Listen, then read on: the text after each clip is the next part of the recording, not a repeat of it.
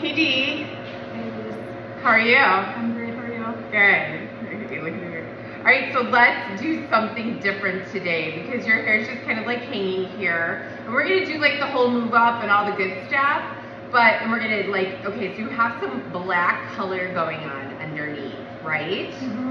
And so, but you haven't had it colored underneath for Probably a year at. So there's at least six months of outgrowth here. And so, and you chelated yesterday, correct? Thank you very much. And her hair's super clean and fresh. So um, if she was not a hairstylist, I would um, definitely chelate her hair first. But she already did that for me, so thank you. Um, and so we're gonna move up her highlights today and we are going to layer all of this up. And as long as it, what, stays, Long, and we don't take too much off. take too much off. But, But she wants it all different, of course. Well, I want it all different. But I also want to get rid of a lot of this darkness underneath because they like I, I I'm just not the biggest fan of all this darkness underneath. I want to see some of this fun color throughout the whole thing. So that's what we're gonna do today with our consult. Um, I'm gonna use Megix 10 lightener and we're gonna use the new additives, so um, let's go check all those out, okay? So it's gonna be fun to use all the additives. Their new lightening system, it's got a tinted lightener to it, so it's really cool, and it's gonna lift her hair because she's under level five without a lot of brassiness. So I'm super excited to use these things today. Cool. Let's do it again. Okay, guys. So we're gonna use the new Megix 10 Lift 9 lifting system. So you guys, this is real life. This is how it goes. Okay, so this has the new Megix 10 Lift 9. It comes in a plastic bag, and this is the Brunette's lifting system. It is green, so it will contradict any warm red tones coming up in the hair. I'm gonna mix it in my little pingy. You don't have to, but I like to. So this is the Megix 10. It has a charcoal base, so for every 10 grams, you're gonna mix one gram of this brunette additive into your lightener, okay? So let's do it, guys. Are we ready? All right, so I'm gonna do grams here. And then I'm also gonna use 21 volume, so I better get that. And I am gonna switch over to grams.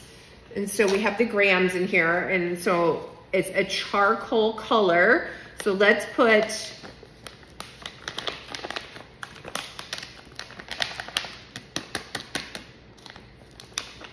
try and get it out of the bag here. Oh, there we go. 30. Okay, so there's 30 grams of lightener, and I want to show you guys that it is charcoal-y. Okay, and so that's 30 grams of lightener, so that'll be three grams of this stuff. So it is green based, and we're gonna put three grams. There we go, three. All right, well, it looks blue, but it's for the brunettes. Did it go green for you? Yeah, I used it um, on someone the other day and it looked really nice. I mean, like, in the, it looked just like that when I mixed it, but in the hair. Okay. And then I'm gonna mix like 45 grams of 21 volume. Because that's the consistency. I like it like 1 to 1.5. You know what? Actually, I'm going to start in the back. So let's mix it a little bit lighter. So let's mix it 60 because these hairs are going to be in there the longest. So let's do it two, 1 to 2 because it's going to be there longer. So we'll dilute it a little bit more. Okay? All right. So that's, oh, for fuck's sakes. 60 grams, not 62. All right, close enough, guys. And then, of course, we're always gonna add my Olaplex, okay? And so we're just gonna do 116 to 132 ounce Olaplex, just a little titty squeeze, just a little titty squeeze. You put that right in there. I put it on top of the liquid. Don't put it on the powder, okay? And then um, I'm gonna give it a spin for 45 seconds. Okay, that's it, that's how you mix it. The charcoal here. Oh yeah, it comes out kind of greeny.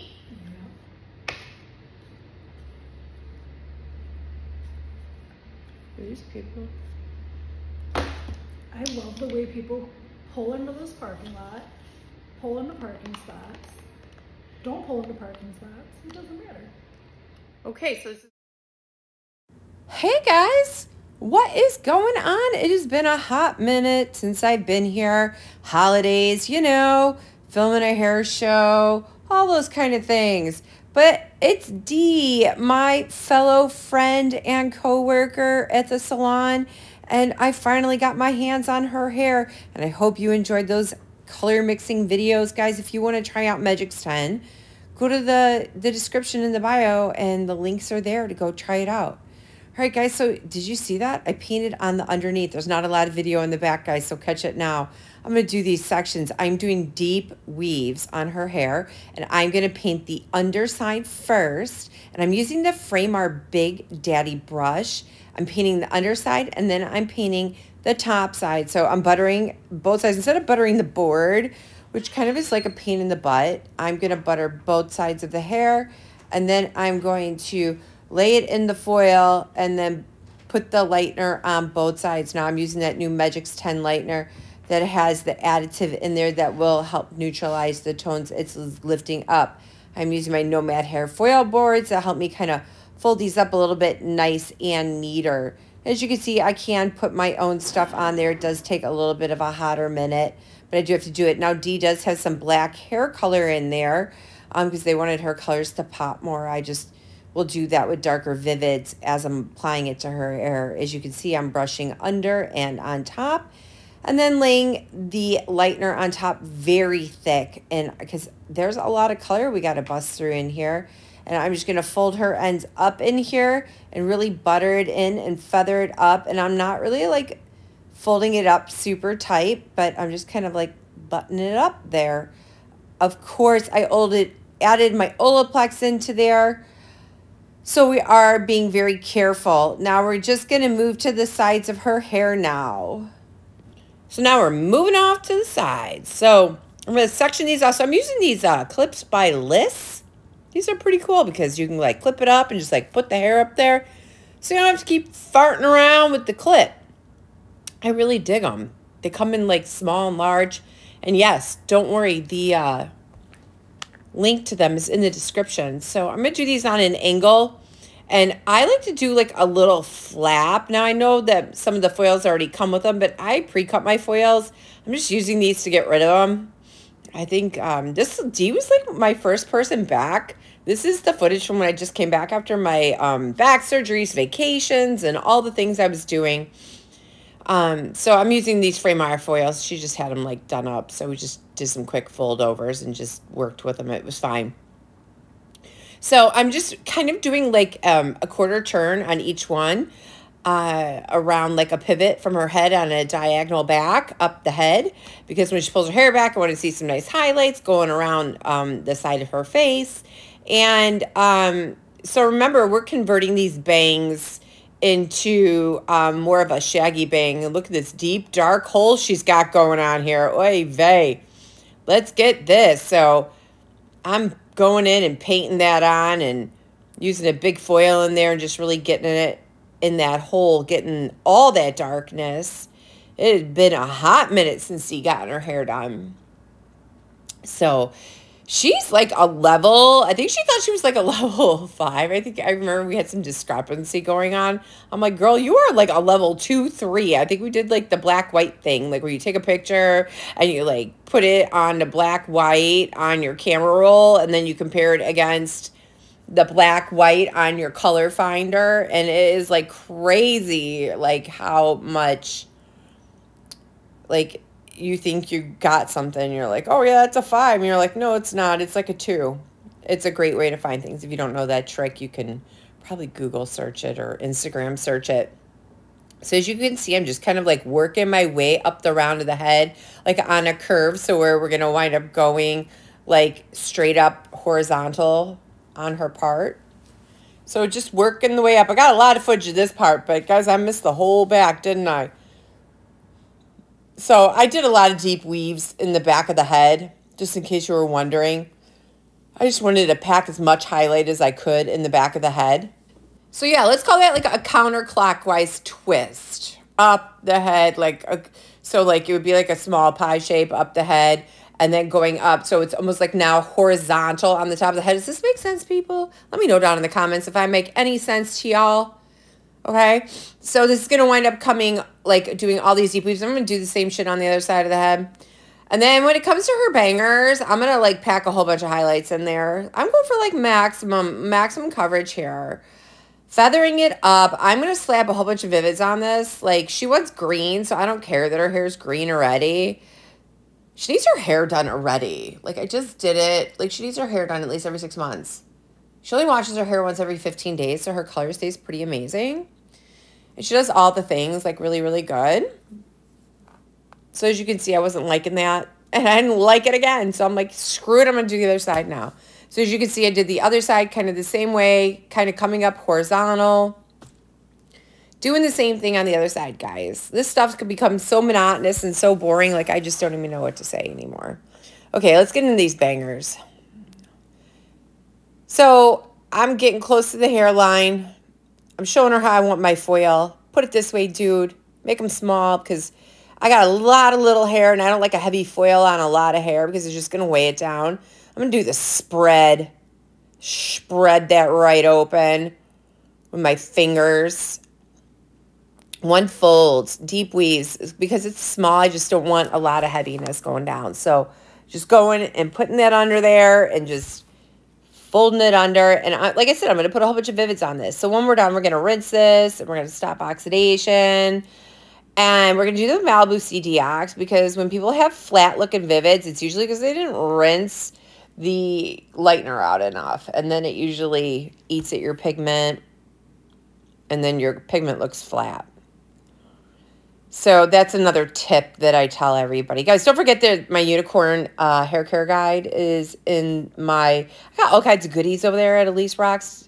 Does hair, hair by Elyse Rox. Yeah, hair by Elyse Rox dot com is the uh, link and it's down in the description and you can download all my downloadable stuff there i got all my goodies there i got so many goodies guys forms contracts hair vids like the whole nine yards like more than i have here well no i have more hair vids here but i got one hair vid there and then i also have my coaching if you guys are interested in that which is like really amazing and awesome because like i take no shit in the salon and we make lots of money. So um, Dee was actually one of my students, and now she works for me. So doing that good old hip twist there.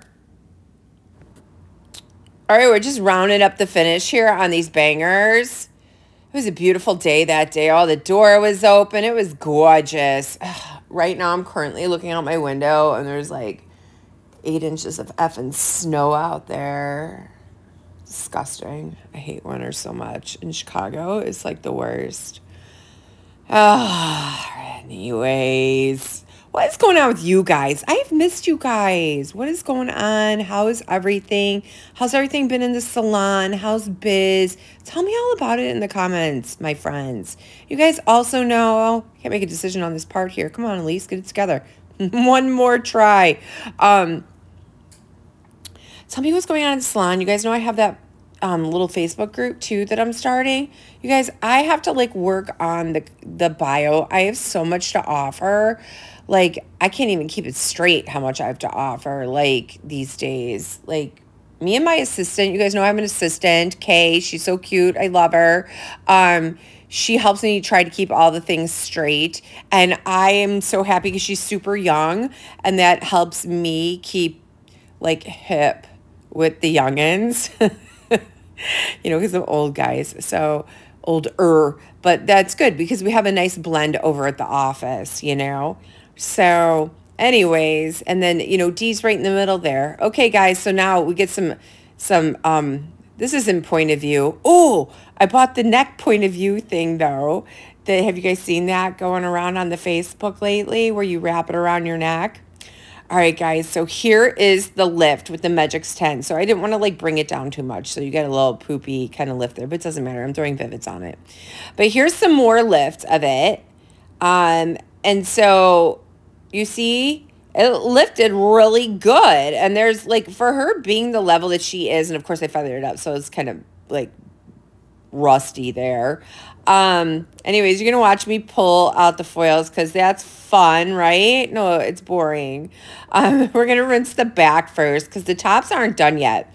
So that's something I do do in the salon. So if stuff ain't done, I'm going to rinse it. I'm going to stop oxidation with that little yellow bottle behind my butt right there. That is Malibu CDX. I'm going to stop oxidation for one minute.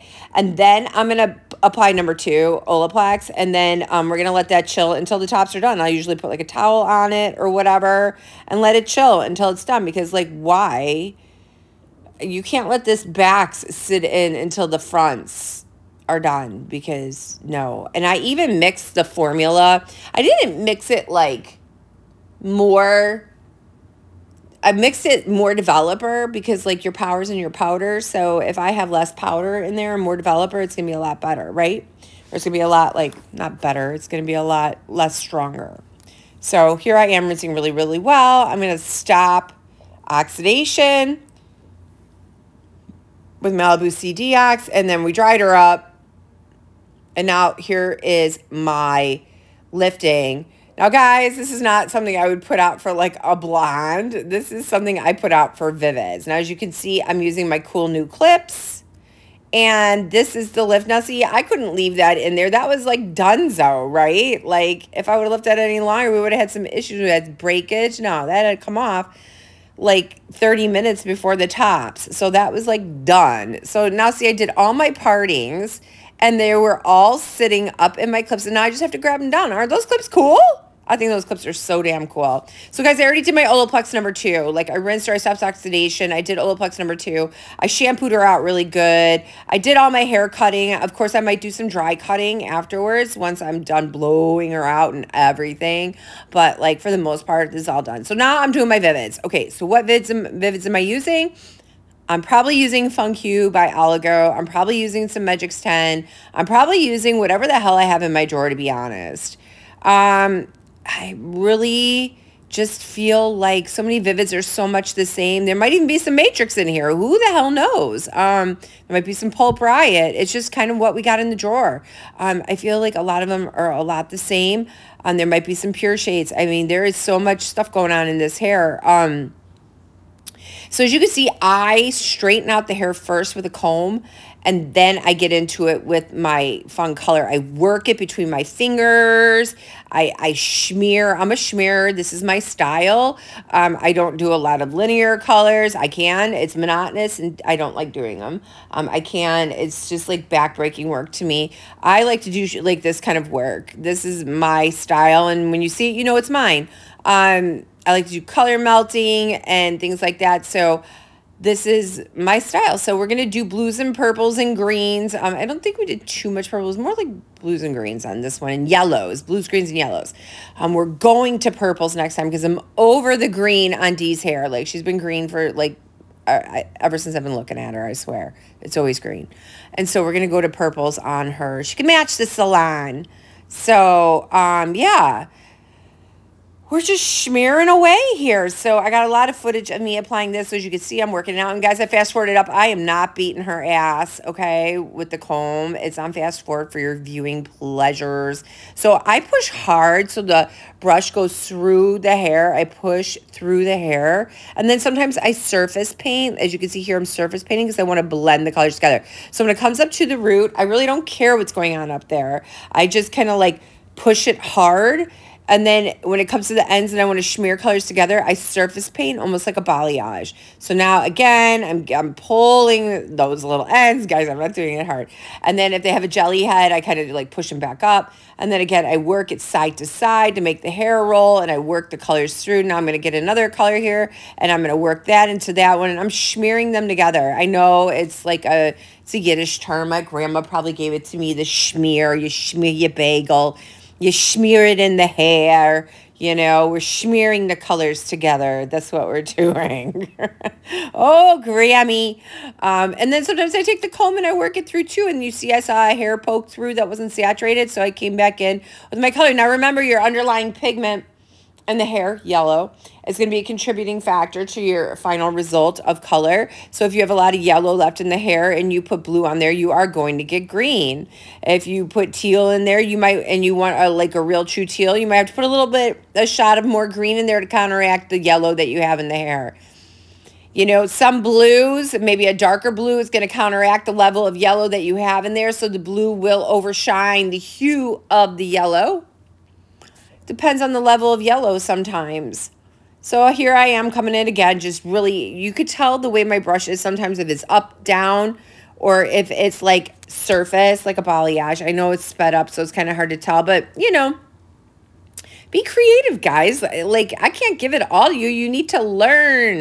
And as you can tell, before I grab the next section, even though I'm using light colors, I do wipe my hands in between each section just to make sure that like I'm not cross contaminating because I might not be doing that and I don't want no big old fingerprint in there. So we wanted to see some really bright pops around her face. So we're going in that light lime green around the face, working it through with my comb and then directing those pieces around the face. Inevitably, I have this one client, no matter what I do, I always slap her right in the face with um, the color every time. Every time. It's like a game. All right, as you can see, I'm going up and down straight on a root. I'm really pushing it in.